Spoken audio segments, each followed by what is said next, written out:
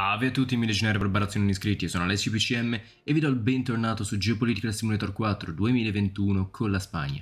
E iniziamo subito anche perché ho deciso che questo sarà il penultimo episodio di questa serie, quindi abbiamo ancora un bel po' di cose da fare per arrivare a fine anno. Facciamo subito partire il tempo, se non faccio un doppio clic è decisamente meglio, e mentre il tempo va vi comincio a dire il perché vorrei terminare questa campagna a fine anno. Alla fine tra le grandi novità di questo di questa edizione c'è anche quella delle coalizioni di governo. E dato che siamo abbastanza lontani dal, dalle elezioni generali in Spagna ho deciso che porterò un'altra, un'altra serie in cui magari le elezioni sono, sono, più vicine in modo da vedere subito anche quella parte di questa, di questa nuova edizione per il resto comunque abbiamo guardato come funziona con gli aiuti speciali dovuti alla pandemia e in generale ai fondi del, dell'Unione Europea in questa, in questa, campagna. Abbiamo visto anche un po' di altre novità che riguardano per esempio anche la gestione del debito pubblico. Uno di voi tra l'altro mi aveva detto Ehi, stai attento perché mi sembra che tu abbia messo tra, negli interessi di qualche video fa una cifra in un modo particolare per cui hai chiesto hai offerto il 475% di interessi fortunatamente è andata bene e non è successo. Ad ogni modo vabbè finiamo questa trattativa comunque con i tedeschi 2% ma perché me lo metti qua? Mi manda al diavolo? Non mi ha mandato al diavolo, wow, 2% di interessi e questo è ottimo. Comunque sono, sono molto soddisfatto dei cambiamenti che hanno fatto per quanto riguarda la gestione del debito. È più semplice da gestire e permette anche di regolare un pelo meglio la, la gestione del debito. Io mi sono trovato bene. Infatti se ben vi ricordate, nello scorso episodio abbiamo chiesto un prestito alla BCE, il cui tasso di interesse è lo 0%, siamo andati a estinguere tutti i vari prestiti minori e adesso ne abbiamo solo 4 maggiori con tre nostri grandi alleati che sono Francia, Germania e Regno Unito e ce n'è uno anche con, uh, con la Cina, il che è ottimo perché ci permette di gestire al meglio tutte le trattative e anche di minimizzarle. Una cosa che però voglio evidenziare che manca, e sì, passerò questi ultimi due episodi a lamentarmi, a lodare naturalmente i passi avanti che sono stati fatti, ma anche a dire cosa manca.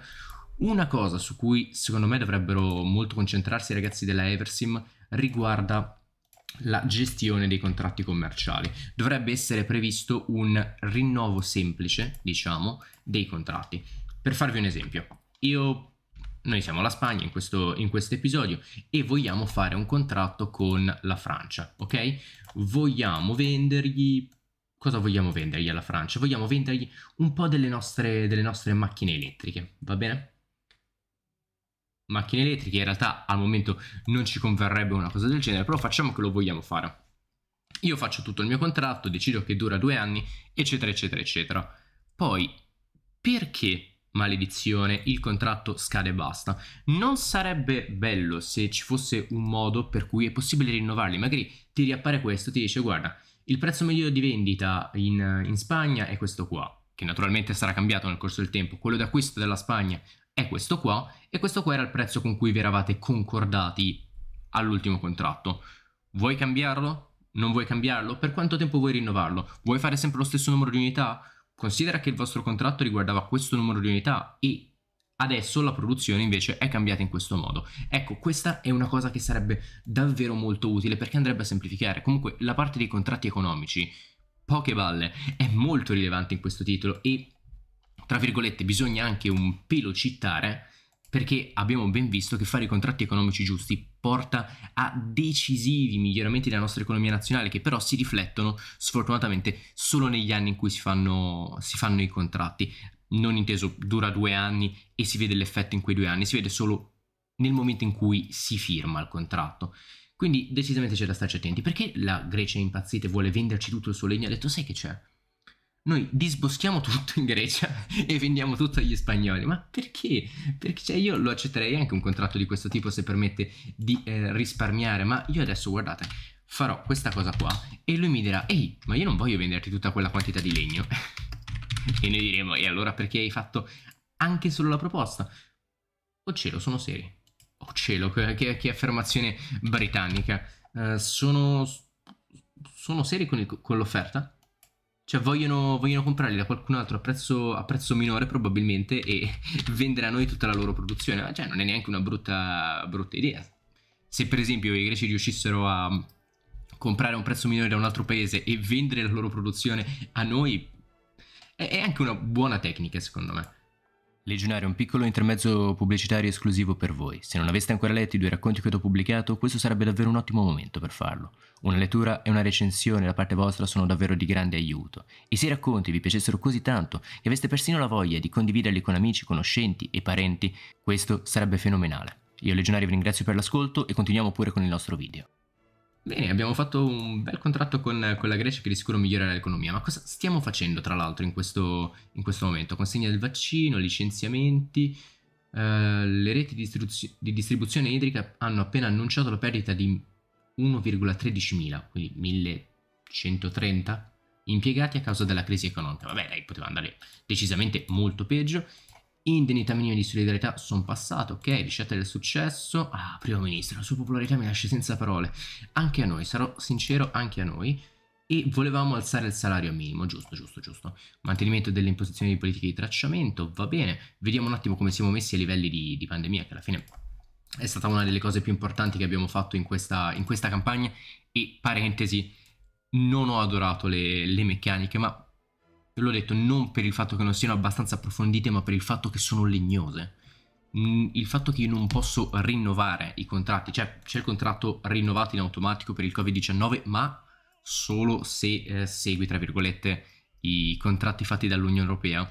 La stessa cosa dovrebbe essere fattibile anche per tutto il resto, perché se no davvero la, la gestione è noiosissima, non, non è minimamente intrigante, è comunque questo geopolitical è comunque un gioco e questo deve restare. È molto bella la parte della simulazione, sapete che la adoro, ne vado pazzo, però voglio dire, ci vogliamo anche divertire un pelo.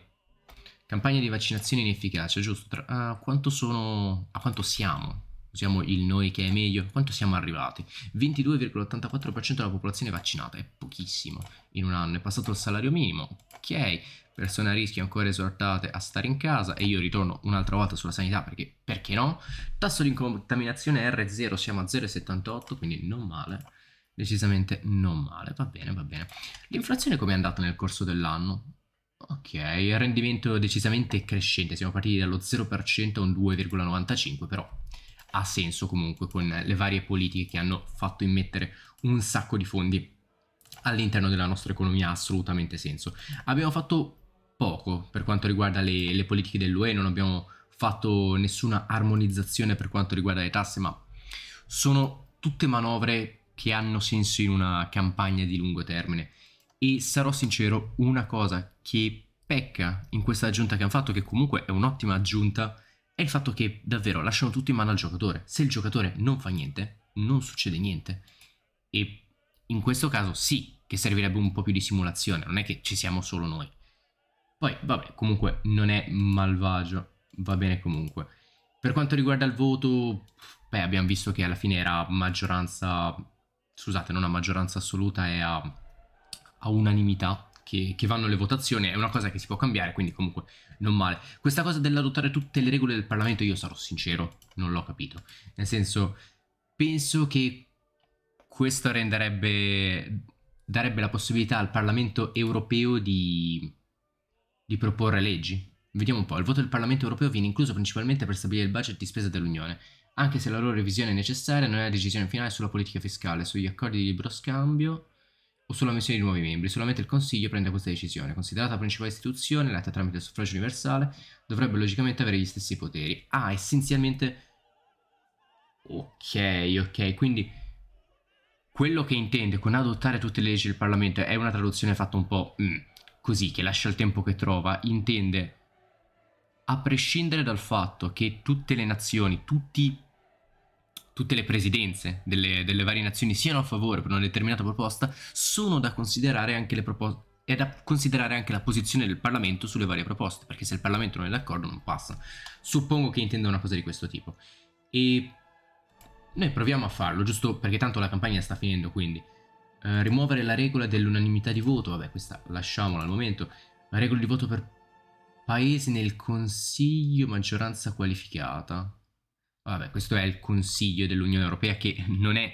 La, ci sono due consigli che hanno lo, quasi lo stesso nome all'interno dell'Unione Europea, una cosa che confonde davvero tantissimo per quanto mi riguarda. Uno che è il Consiglio dei Ministri, che in realtà sono vari consigli, è cominciato se non ricordo male con quello delle finanze e dell'economia, che si riuniscono ogni tot per decidere nei loro rispettivi ambiti politiche comuni. Poi c'è il Consiglio, perché penso se non ricordo male è il Consiglio dell'Unione Europea e il Consiglio punto. Il Consiglio invece raccoglie tutti i capi di Stato e o presidenti a seconda del, del tipo di governo della, della nazione europea presa in, in, considerazione. E va bene, quindi per quanto riguarda il Consiglio dell'Unione Europea, quindi dei ministri, questa è la modalità di voto, vabbè. Non vogliamo fare nulla per ora, vabbè, queste sono le solite cose, lascia l'Eurozona, esci dall'Eurozona, sostieni, la sosteniamo, grazie mille per avermi dato una barcata di soldi, quindi siamo contentissimi. Poi, vabbè, qua abbiamo le spese.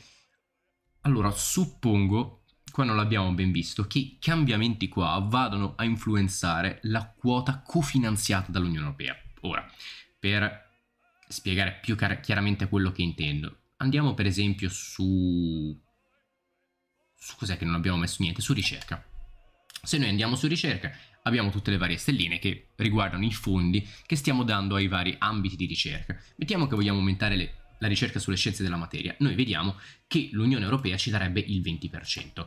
Quindi il costo complessivo è 577 milioni, l'Unione Europea ce ne dà 144. Io suppongo, suppongo perché non lo so con certezza, che se noi facessimo una cosa di questo tipo, ovvero diciamo, sai che c'è, aumentiamo i, i fondi sulla ricerca e innovazione, a quel punto i fondi che l'Unione Europea mette quando noi mettiamo le stelline sono aumentati, però è un'ipotesi mia. Per quanto riguarda le entrate, vabbè, queste sono... è la modalità tramite cui l'UE riceve, riceve budget. Una è naturalmente la tassa sulla, sulla plastica, che una... è stata scelta come tassa comune in... che in parte riempie le casse dell'Unione Europea o completamente. Non mi ricordo se parte finisce nei governi nelle tasche, tra virgolette, dei governi e in parte in quelle dell'Unione Europea o completamente dell'Unione Europea. Tutti i paesi danno una quota della loro IVA all'Unione Europea e poi naturalmente ci sono vabbè, le tariffe, i, i debiti, ma i debiti è tutta un'altra questione naturalmente. Quindi comunque questa aggiunta non è male, anche se anche qua un limite c'è, ovvero questo limite è il fatto che la creazione di nuove organizzazioni immagino non vada a fondo come per quanto riguarda l'upgrade dell'Unione Europea ed è un peccato perché vuol dire che il 2021 essenzialmente ti spinge a giocare in Europa che ci può anche stare perché comunque ci sono varie nazioni che si possono giocare che potrebbero entrare nell'Unione Europea quindi c'è anche quel, quel margine lì eh. però voglio dire potevano anche un pelo potenziare la parte delle, delle organizzazioni ma Suppongo che prima o poi lo faranno, voglio dire, siamo alla versione 2021, arriverà la versione, immagino, 2022, quindi ce n'è di tempo per miglioramenti. Ci vuole incontrare il primo ministro delle Barbados, va bene, ehm, ci vediamo, ma sì, va, va benissimo il, il 7, ok, dai. Ci vediamo il 7, tanti auguri a me, 31 ottobre. Tra parentesi, l'economia sta crescendo tantissimo, siamo a un 14% di crescita che è qualcosa di impressionante e non sappiamo davvero più come spendere i, i fondi dell'Unione Europea. Ecco, quello era, è un altro limite del, dell'aggiunta che hanno fatta. Hanno sì messo questa cosa molto interessante dei fondi dell'Unione Europea, ma troppi pochi modi per spenderli. E il fatto che tutte le spese sono condizionate da spese nazionali non è utile, perché vuol dire che se non sei nella facoltà o non vuoi spendere i fondi della, della nazione in quella determinata cosa, non puoi spendere neanche quelli dell'UE. E nel nostro caso noi andremmo a bruciare 36 miliardi e 36 miliardi sono una barcata di soldi, ma solo perché non, non abbiamo come spenderli. Il nostro paese è un disastro in termini di agricoltura biologica, scusami. Davvero desolato, un vero amico del nostro pianeta. Automobili pulite, ok, qua sta migliorando, eccetera, eccetera, eccetera. Legionari, molto rapidamente, non lo sapevate, ho creato un gruppo Discord per tutti noi amanti dei giochi di strategia e di simulazione geopolitica. Volete partecipare alla sua creazione e al suo sviluppo? Bene, vi invito a unirvi al link qua sotto in descrizione. E ora riprendiamo pure con il nostro video. Un'altra cosa che un po' mi dispiace è il fatto che, per esempio, anche le sovvenzioni su determinati settori non possono essere sussidiate anche con aiuti dell'Unione Europea, che sarebbe stata una cosa anche abbastanza sensata, però vabbè, ce ne faremo una ragione. Una cosa che abbiamo cercato di fare tra l'altro in questa campagna è stato diminuire il numero di, di soldati in carriera e l'abbiamo fatto, mi sembra che siamo partiti da 120.000, adesso siamo a 100.000 quindi comunque un po' da quel punto di vista abbiamo, abbiamo, ridotto. Siamo riusciti comunque con le varie manovre a far sì che la disoccupazione non fosse estrema, anzi il tasso di disoccupazione penso che sia il più basso che ci sia mai stato in Spagna nell'ultimo, nell'ultimo secolo, quindi ottimo risultato assolutamente, nonostante anche abbiamo alzato la, l'età pensionabile, manovra che non ci potremmo permettere in questo momento con il nostro 64% misero e scarso, purtroppo dobbiamo, cioè purtroppo, naturalmente dobbiamo seguire questo. Risoluzione 1519. Ai ai ai, allora qualcuno ha proposto qualcosa? Ah, è l'adozione di tutte le leggi del Parlamento. In questo caso vediamo che ci sono tre nazioni che ne sono contrarie, che sono Ungheria, Cipro e anche Polonia. Mm-hmm. Unanimità, astensioni non contate, quindi in teoria dovremmo convincere loro. Va bene. 2 ore e 30. Richiedi voto a favore nella risoluzione. Chiedi di influenzare un altro capo di Stato. Richiedi un voto a favore. Mi dice, ma posso scegliere io? Scusa, no, non volevo. Va bene, e se vogliamo... Allora, convincerli... E non vogliamo rischiare che la legge non passi, possiamo trattare con loro e possiamo dire che li rimborsiamo di un tot, tipo così dell'1%. Allora, uno però non mi fa vedere il, il costo di una manovra di questo tipo, cioè io posso anche proporre, però non so quanto mi andrebbe a costare. Perfetto, siamo a 4 contrari, meraviglioso, adesso c'è anche la, la Slovenia. Ehm... Come, come faccio? Non, non posso più farlo, dovrei fare annulla rimborso. E dannazione, non posso più rifarlo. Maledizione. E la, la Slovenia ha fatto finta di niente. ha detto no, no, no, no, no, non la facciamo passare questa legge. Poi ha detto di sì. Ma maledizione. Scusa, non posso rioffrirgli il rimborso? Mi sa di no. Mi sa di no. Istituzioni, bilancio, politica. Risultato incerto. E niente, non c'è più niente da fare, la legge non passerà. Scusate, colpa mia, ho sbagliato nella, nella gestione di questo incontro. Ok, anche questa cosa qua delle trattative che ci sono non mi fa impazzire, ma questa è un'opinione personale. Vediamo un po'. La votazione non è passata perché serviva l'unanimità, giustamente. Giustamente, è strano che il no sia venuto da quei tre paesi piuttosto che da altri che magari avrebbero avuto una perdita di potere relativamente maggiore rispetto a quelli. Vabbè. Ci vogliono vendere del cotone, anche loro all-in praticamente, vabbè che hanno un'eccedenza abbastanza grande, ma sentite io non sto neanche a, rinominare questi contratti se tanto poi andremo a, a, terminare la campagna, anche la cifra 1400 mi sembra accettabile, ho detto 1400 mi sembra accettabile, facciamo 1450, non tirare la corda, non tirare la corda Barbados, 1500,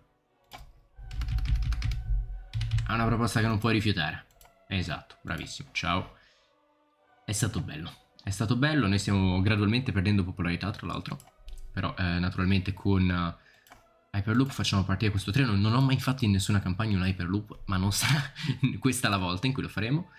Arriva la Mauritania, va bene, che ci vogliono vendere del ferro, in realtà noi lo stiamo importando quasi tutto, la Mauritania però ci dice, sai che c'è? Ne hai bisogno di ancora un po', lo vuoi? E che faccio? Gli dico di no? Gli dico di sì, assolutamente. Dammi tutto il ferro che hai.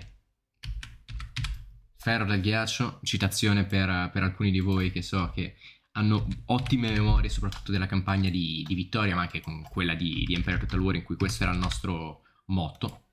In generale, tutte le volte che abbiamo giocato con la Svezia, Ferro del ghiaccio è stato il nostro, il nostro motto. Abbiamo giocato, penso, due volte con la Svezia, sia Empire e, e Victoria. E perché no? Magari ci torneremo prima o poi o su CK3 oppure su Victoria 3 in realtà avrebbe molto senso portare la Svezia su Victoria 3, è un, un'ottima idea, geniale direi. assolutamente, assolutamente. O anche su Earth of Iron, titolo che non vediamo da un sacco di tempo. Restrizioni sanitarie ancora in corso, sì, sì, sì, sì. Dimmi qualcosa che non so. le vaccinazioni non vanno avanti, ma non abbiamo queste dosi. Ordini attuali, stimoli il numero necessario, dato il fine delle risorse. In teoria li sta utilizzando, vabbè, sarà che magari non sta aggiornando là sotto.